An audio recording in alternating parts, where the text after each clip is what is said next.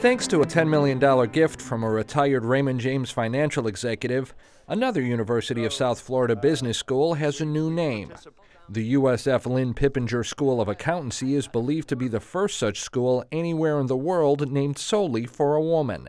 Women have been accountants for a long time, and I think uh, some of our best ones, you know, are, are women. They're more uh, detail oriented than some of the guys.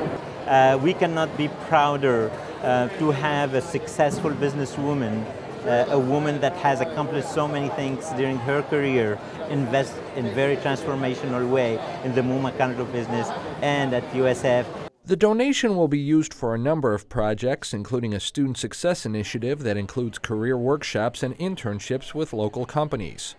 Pippenger's gift follows entrepreneur Kate Tiedemann's $10 million donation to the USF St. Petersburg Tiedemann College of Business last September, and philanthropists Pam and Les Muma's $25 million gift to the USF Muma College of Business last October. There really is, has been an outpouring of interest, additional interest in the university and, and uh, what it's all about. And Pippenger, who has a pair of business degrees from USF, is all too happy to lead the way in giving back to her alma mater.